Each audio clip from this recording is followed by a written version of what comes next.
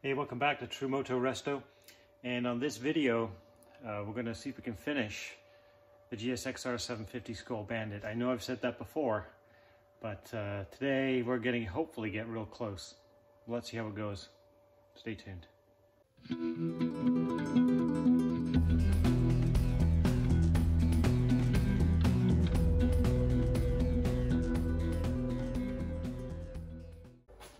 Got the, uh, the new throttle cable.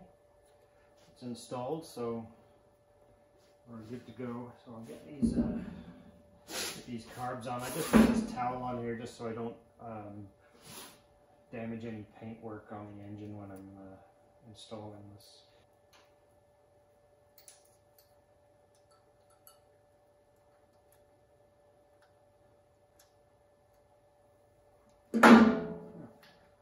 That wasn't too bad at all.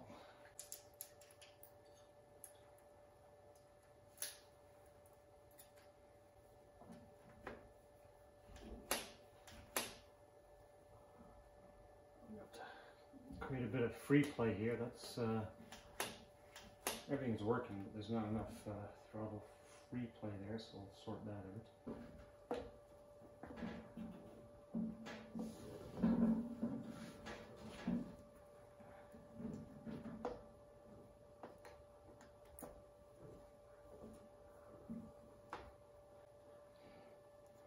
We're just going to use a little bit of uh, Race Tech rubber grease.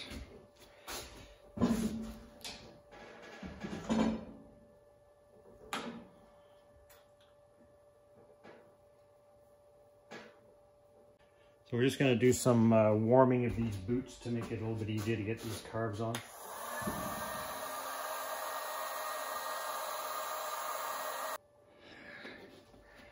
All right, the carbs are on. Is good.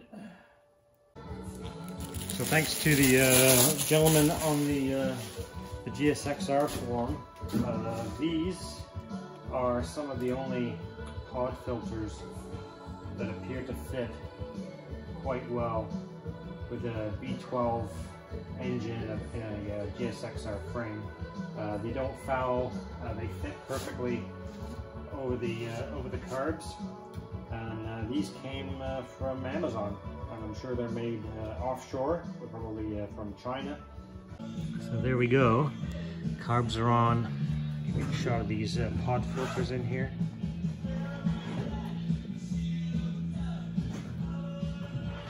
This, of course, is the uh, crankcase uh, vent filter because it there's no air box anymore, so I'll put that on. But you can see the clearance there. Yeah, everything fits quite nicely. Not too bad. So I guess now we got to chuck a battery on it and uh, see what happens. All right, so we're almost ready for the moment of truth. I just got a temporary battery hooked up because I don't have one that fits in here properly. So first thing is we're going to do is we're going to see if the lights come on on the dash, which they do. Good start, headlights on. And then uh, I think, I want to see if it'll crank.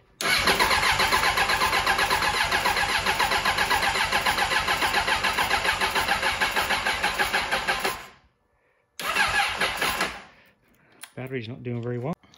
Not seeing the oil light go out yet. So let's put a booster on here and see what happens. I really want to see this oil light go out.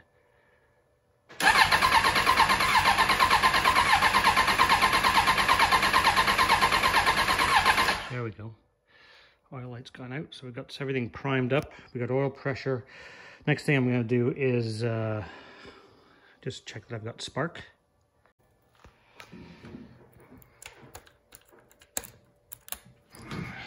So we get some spark here.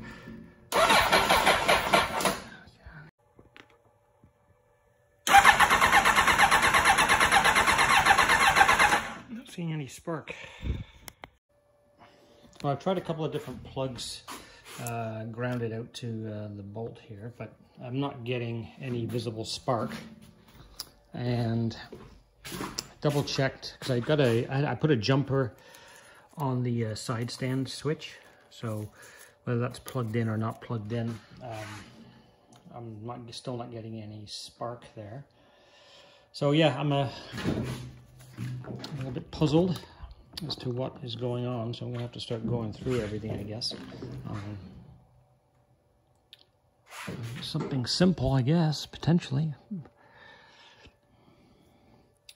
I wonder if there's a, uh, ground wire that I'm missing somewhere, but I'm pretty sure I got everything hooked up. I'll have to double check. Okay, I finally have spark. Um, so it was one of two things. I was using, I pulled this boot off here and I just stuck a spare spark plug in. Um, and a couple of old spark plugs I had.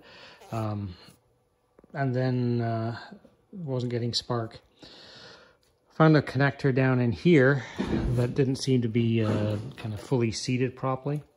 I'm not even sure what it was. I haven't looked it up yet, but I don't think it had anything to do with it, but you never know. Anyway, this one right here, the blue wire. Um, so that's been sorted out. And then I decided to throw a brand new spark plug on that boot just to uh, remove any doubts that it could have been one of the old plugs that I stuffed on there that was the problem. And then when I tried it again, I had spark. So next thing will be to uh, give it some fuel and uh, see if we can bring it to life. So I was fortunate enough to find some of the uh, the rubber trim pieces I need off uh, off of eBay for the GSXR.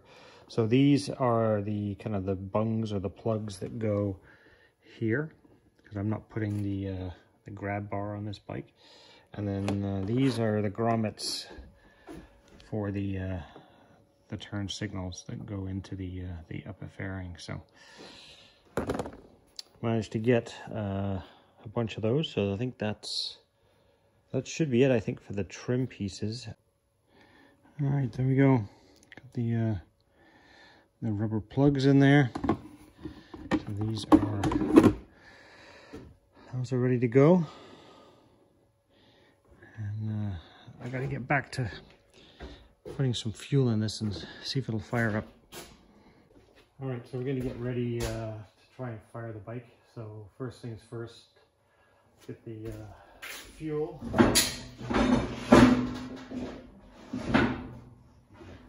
Up.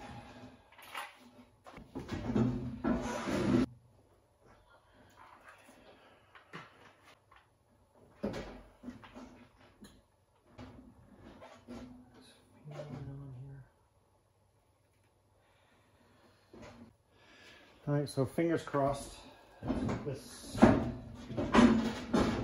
arrow fires up here.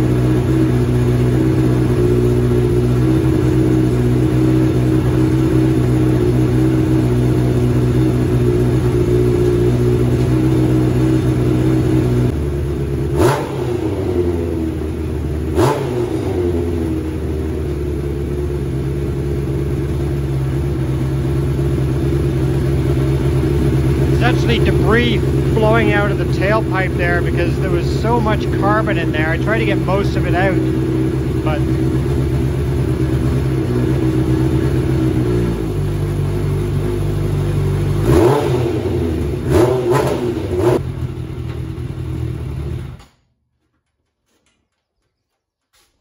Well, we'll wait for the smoke to clear. So yeah, like I was saying, I don't know if you could hear me above the uh, the racket there, but when I this original original to the not original OEM, but the, this is the silencer that it came on the bike, and when I originally took it off, it was packed. I don't know if you recalled how how carboned up and how oiled up the cylinder head was on the exhaust side of the bike when I took it out uh, of the the 750, but there were huge clumps, like I would say a good you know, inch to two inches in diameter clumps of black carbon and oil that were falling out of that uh, tailpipe. And uh, so I ran some stuff through it and I tried to clear it out, but it was very badly oil soaked. Um, and this, there was still some loose stuff in there. And you could tell when I, when I cracked the throttle, there was bits of debris uh, shooting out of the back. So I was not surprised at all uh, by, by that, not in the least. Um, and the majority, of the, well, all of the oil that uh, that was burning off there has kind of filled the shop here with some uh, some smoke. But yeah, it'll uh, it'll clean itself out. It'll be uh, it'll probably be a little bit smoky until it uh, burns itself clean. But I know the engine's fine because the uh, I mean it wasn't it wasn't blowing smoke when it was in the in the bandit either. So that was that's just a crap that's in the the tailpipe, I guess, and running on all cylinders the way that it's supposed to. Uh, probably running a little lean, I would say. But uh, that's to be expected with those pods on there and that exhaust system. I think uh, I will have to definitely investigate putting in a, a, jet kit in there for sure.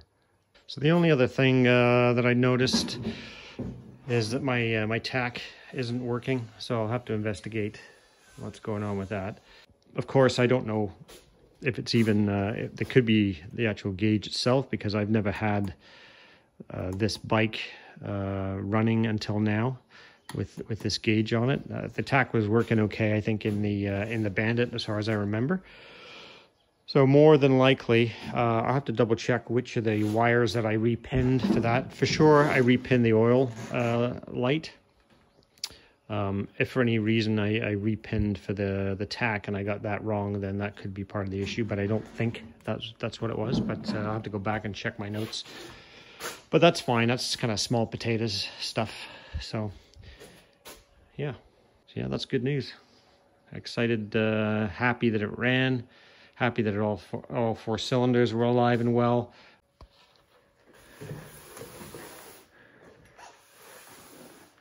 So you can see how much crap came out of the tailpipe of this bike. This floor was clean before I fired it up. And this is this is all the stuff that was shooting out of the tailpipe all over the place. So yeah, you can see actually everything is just kind of, yes, there's a speckled floor here, but if you, that's that's all stuff that came out of the tailpipe. I got as much out as I could. I could probably, I should probably have maybe got a piece of uh, steel cable and just frayed the ends and run in the in the drill uh, in and out of the inside of the pipe. Um, but there's yeah, there was still quite a bit of shite in there, and I don't know if you could see uh, when the pipe started to get hot. Some of that stuff was actually kind of igniting and shooting out of the back. These uh, like looked like sparks coming out of the back. So uh, all of that, I was absolutely expecting that to happen just because I knew the state of the inside of this uh, of this silencer and mid pipe. It was uh, an absolute bloody mess. So uh, yeah, that's not a surprise to me. Um, that it was oily coming out uh, and I, because it was you know debris shooting out of the back. So that's all of that is. I'm not uh, I'm not concerned about it. I know exactly what's going on with that. So, but it's loud. Holy smokes, is that loud?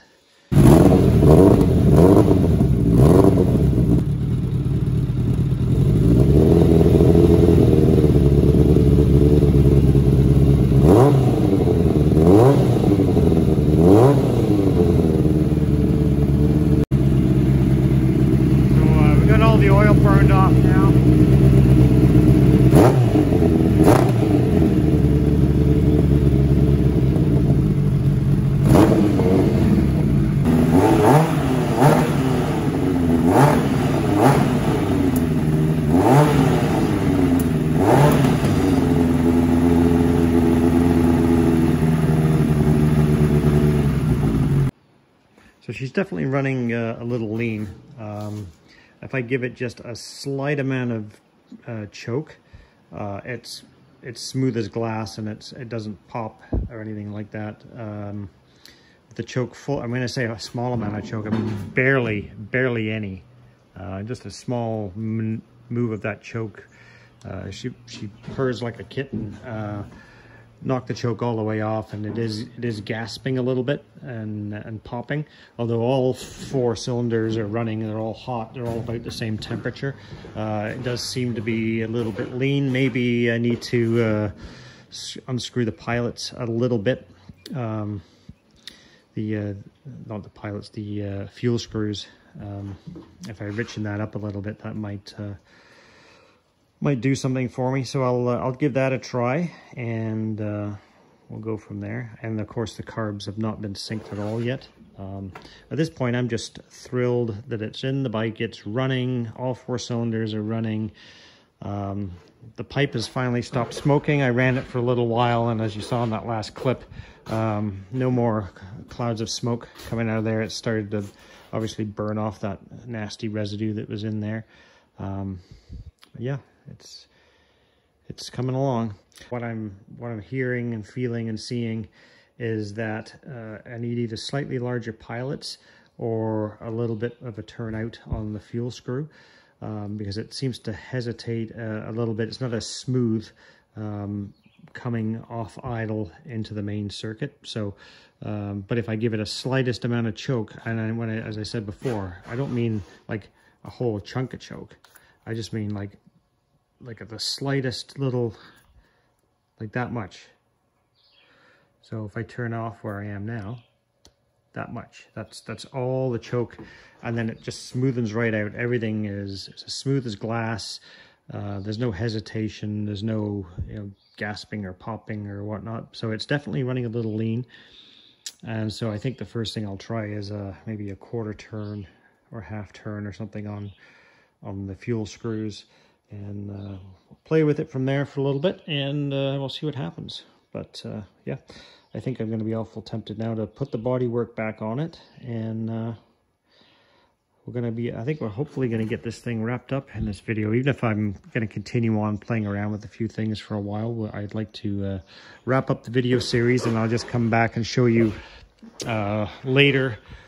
uh, after I've got everything, all the small things buttoned up on it, because as I said before, I need a clamp for, for that hose. I got to sort out why the tach isn't working, because uh, I did double check, uh, and the, the, the wiring uh, pin for the tach is the same on here as it was on the Bandit, so I didn't have to touch that. And uh, so yeah, I suspect that there's a problem with the tach itself. All right, so I've been over the wiring uh, changes that I made to the gauge cluster. And everything seems to be uh, as I would expect. I'm confident that I did not put anything in the wrong place. I only moved two wires. I moved the uh, the oil light wire and I moved the black and white grounding wire for the illumination, uh, which also is a ground for the tach. But, um, you know, the high beam light comes on, the illumination lights come on, so I'm comfortable that the positive, the negative, and the signal wires are all in the right place for the tach. so the question is, is the tach bad on the GSXR, or am I not getting a pulse signal um, through the wiring harness, which I guess some way or another comes from the, the coil. So there's, I guess there's a couple of things that I might try for that. So one is I think my multimeter uh, can pick up, if you use the Hertz setting on the multimeter, uh, I think it can pick up a, a, signal that might tell me that, uh, you know, is the, is the gauge cluster receiving a signal or not. Uh, so I might try that. The other thing I can potentially do is remove the headlight bucket, unplug this gauge cluster, and then plug in the old bandit cluster and then just see if I get uh, a functional tach on that. That might be the you know the true the true test. So we'll uh, we'll give that a go. I think the first thing I'm going to do though is do some uh, fuel screw changes on this. I'm going to move them a quarter turn out. I've got my uh, my carburetor screwdriver here for getting underneath there. This is a Motion Pro carb tool. This is a sync tool, I think, but uh, works just as well for getting at the fuel screws. And in some cases, uh, this, this screwdriver should be just fine for it as well. So uh, we'll play with that for a little bit before we start throwing bodywork back on. I would like to figure out whether or not this, this tach unit is no good or if it's a wiring issue, uh, signal problem. Uh, that way I can either you know buy a new gauge cluster. Um, there's not, there is no good proved to be working um, tachs out there. Well, actually there is. I found one on eBay. Um, and then there's for you know not too much more money you can get an entire gauge cluster. So uh, we'll see one way or the other. Uh, we'll figure it out. Let's first figure out whether or not the uh, gauges are bad or if I've got a, a signal wiring problem. So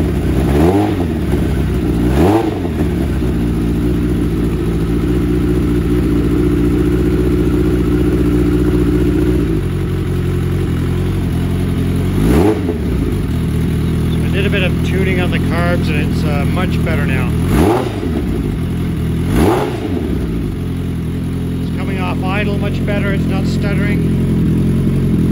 All the smoke is gone, so all that crap in the pipe is burned off. Now I've got uh, hooked up to the, the pulser, the signal for the uh, to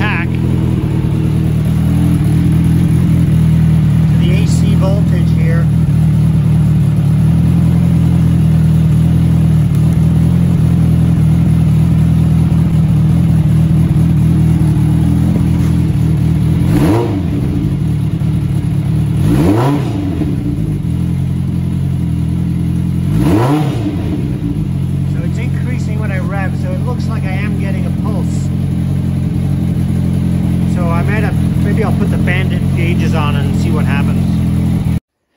right, so I just basically unclipped the uh, GSXR um, clocks and I plugged in the Bandit clocks, which I've just kind of just set up here. And then we'll see if we have a functional tach here. And that'll tell me whether or not I've got a wiring issue or a signal issue or uh, whether or not my uh, tachometer gauge is bad. Uh, I think, like I'm not an expert on electrical stuff, I really am not. Uh, but what I've read is that uh, if you hook up your uh, volt, your amp meter, your amp meter, your multimeter to the pulser wire and to the negative, uh, you should get an, uh, and you put it to AC volts, you should get a, an AC voltage reading. Um, and it doesn't really matter what that reading is as long as that is increasing with the revs. And I was seeing it increasing with the revs. So, uh, but this will tell me for sure because um, right now it's pointing to a bad gauge. Um, so let's see what happens here. There we go.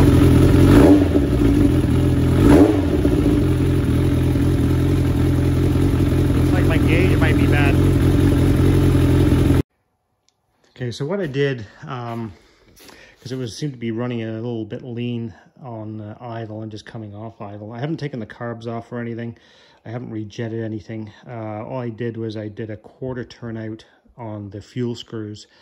And so far that has just kind of smoothed the the, the transition out. It's a little bit uh, smoother at idle. It's not popping and uh, coming from coming off idle onto throttle. It's not stumbling. Like it was kind of raspy. Well not raspy is not the word. It was kind of stuttering. That's a better way to put it. Um, and that seems to have uh, become a lot better. Uh, all four cylinders are running about the same temperature, which is great. And uh, I've got some um, feelers out. There's a gentleman on one of the forums who has uh, a Dale Walker jet kit that he might be willing to part with, a lightly used kit. So I might end up uh, with that to put on.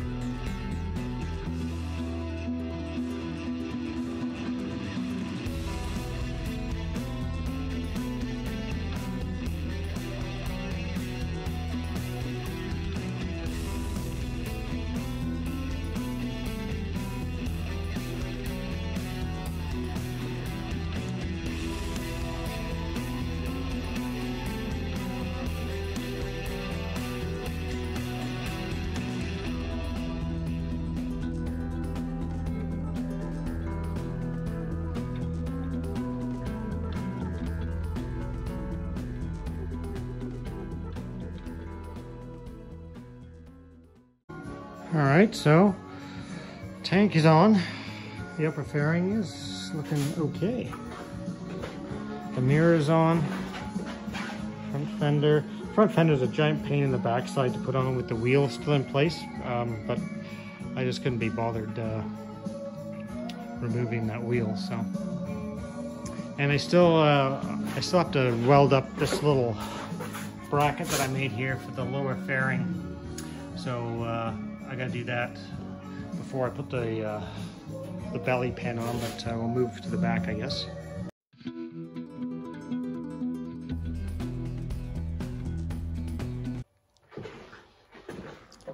So it's coming together. Man, it looks good. That color scheme is just incredible. Gosh, that looks great. So nice. So nice. So I've got to wait for a little bit with putting the tail uh, pieces on the side panels because there's a couple of rubber grommets that uh, go in here. You see them, uh, I guess these are the ones here. And the ones that came off uh, are honestly a little bit uh, a little bit dry, a little bit crusty. So uh, I'll put them in some wintergreen oil and alcohol to soak, and that'll soften them right up. They're not cracked. They're just kind of harder than I'd like them to be. I just want to soften them up a little bit. So a few hours in the wintergreen and alcohol will uh, will bring those right back to as soft as new.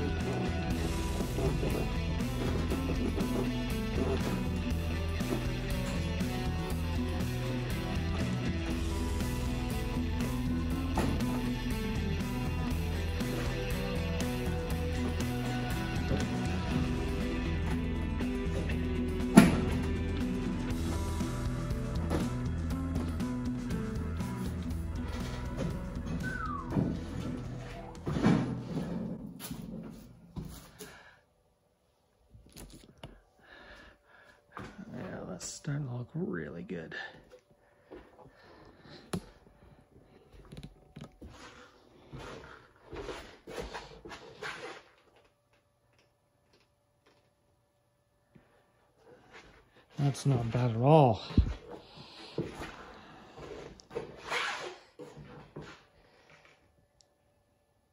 That'd uh, be nice if that solo cowl set just a little lower.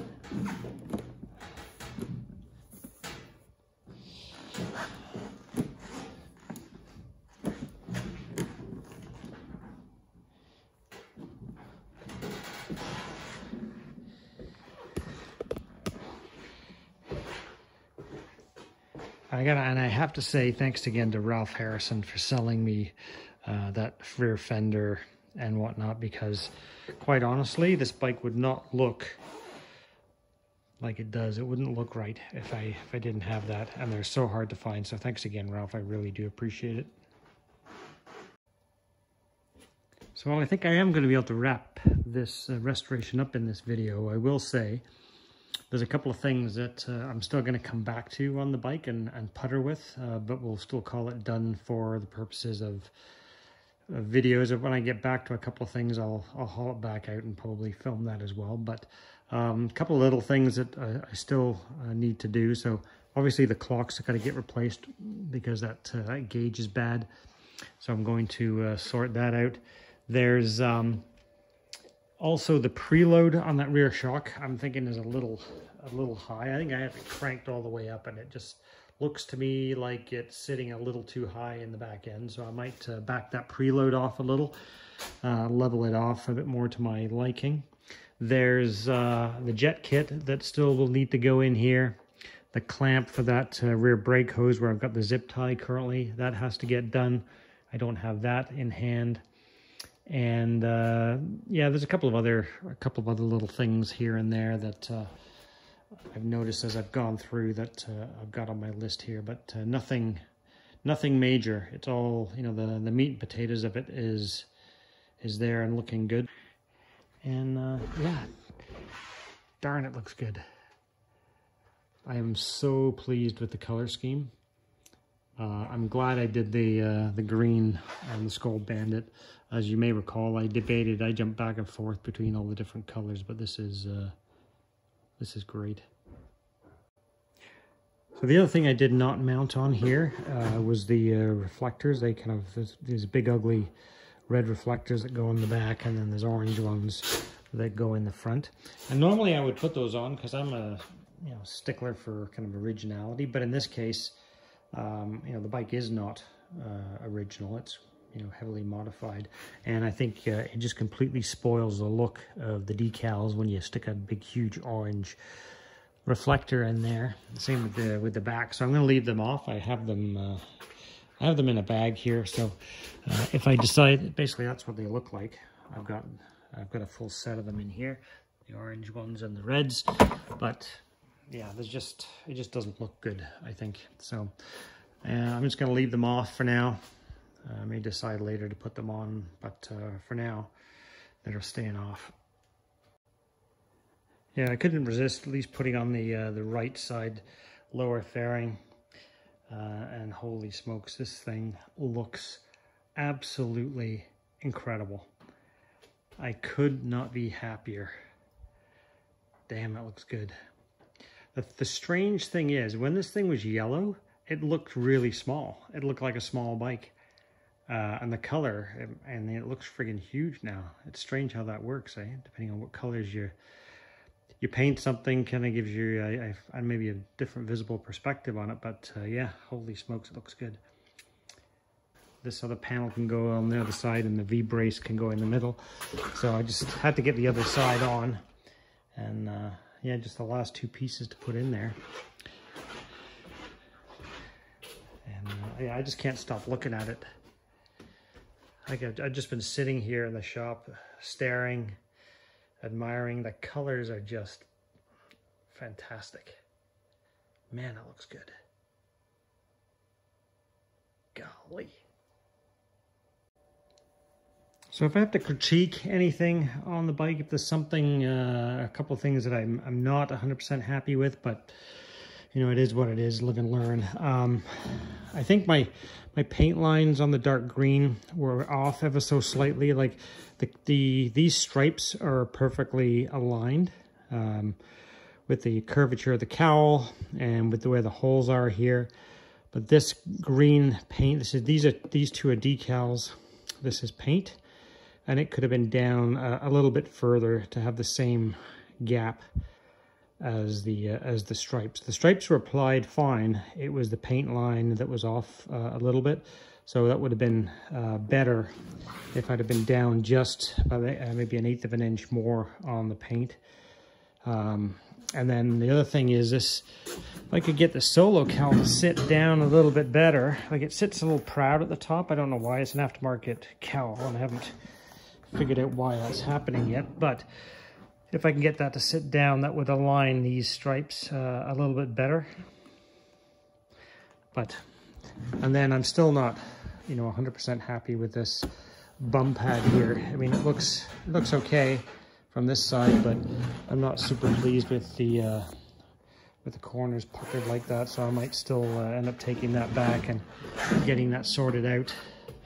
But, you know, there's always going to be one or two things, and, you know, you can live and learn. Some of it you can do over again. Other things you just live and learn, and you move on and try to do it better next time. But yeah, not too bad. I think the only other modification I might consider making um, if I was to do this again or maybe even in the future, um, because I have pods on here now, um, there's a kind of a, a, big empty space up inside underneath the tank here. And uh, one of the pieces of advice or an idea that was given to me was uh, to mount on the top of the frame here a, a square piece of aluminum plate because that's where the uh, air box used to come up. So there's a whole pile of real estate in here where I could actually move the uh, CDI box and the fuse box uh, over from underneath the seat off the fender over to this side. And then by, by doing so, you can also uh, make the uh, the frame a little more rigid given that it has the, the B1200 in it. So that's kind of something else for consideration that might happen uh, further down the line. But for now, uh, it's good. All right, so we're just uh, welding up the little mounting thing here.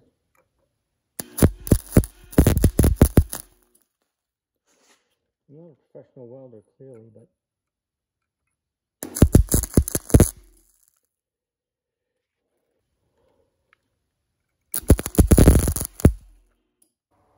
So clearly I'm not a uh, accomplished welder because I've only just started, but uh, should be good enough. I smacked that stuff with the uh, with the hammer, nothing came off, so that should do the trick. For now, all it needs to do is hold that nut on there. I only put the uh, the bolt in there just to hold the nut in place, and then uh, a different. There's going to be a different bolt or screw that's going to be used.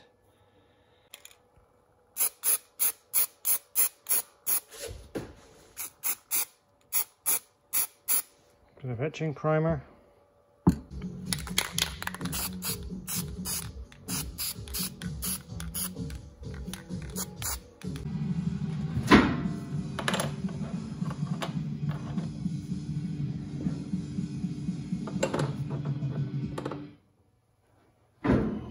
so some of these body panels are always a, a bit of a wrestling match, but at the end of the day, you just take your time and all comes together in the end.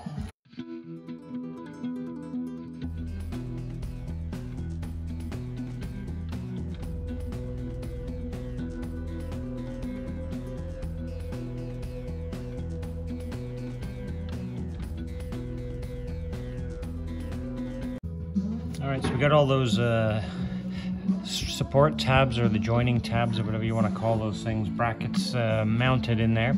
The good news is uh, this replacement header uh, is a much, much better fit in this bike than the header, the Vance & Hines header that was on this bike that was all rotted out. And the other thing I also noticed was looking back at pictures, uh, and you may notice uh, as I do the walk around and the comparison back to the original bike at the end of this video, this mid pipe and, and silencer are actually further this way. They're kind of further back. The other one kind of it's a good four to six inches uh, longer, that header. And so it kind of moves the pipe up and back further, which I think, I think looks really good.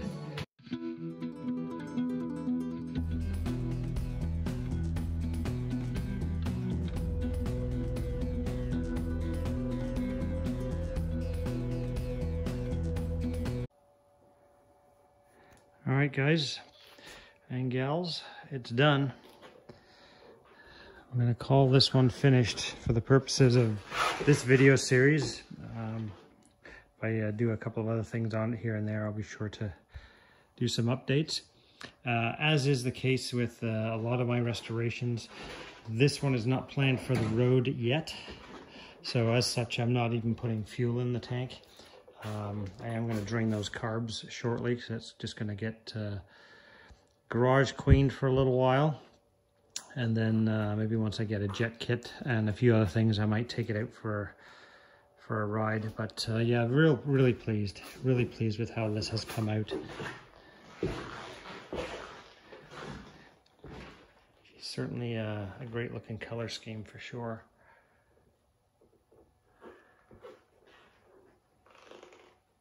Let's take a quick look back on how this thing looked when I first got it.